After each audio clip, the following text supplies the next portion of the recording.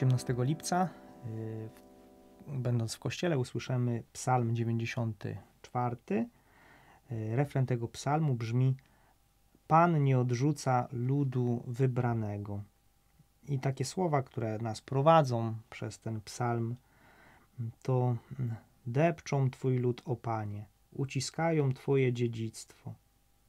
Pan nie odpycha swego ludu i nie porzuca swego dziedzictwa.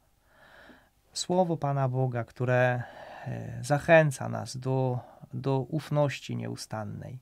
Słowo Pana Boga, które przypomina nam, że jesteśmy ludem wybranym, że e, zostaliśmy przez Jezusa odkupieni na krzyżu mocą Jego krwi. Słowo Pana Boga, które nam przypomina, że Pan Bóg daje nam Ducha Świętego, e, że nieustannie nas wybiera nieustannie otacza nas swoją miłością.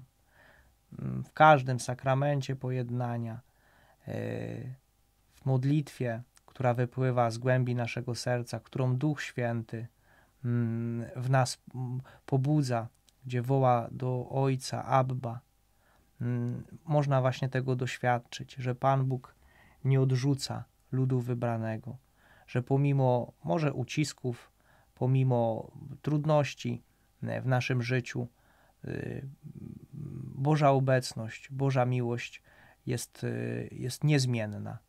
E, Pan zachęca mnie i, i Ciebie, każdego z nas, do tego, by trwać w ufności, by pomimo tego, że może nieraz nie widać światełka w tunelu, ale On ze swoją miłością, ze swoją łaską, E, na pewno przyjdzie i nie odrzuci, ale do serca swojego przytuli.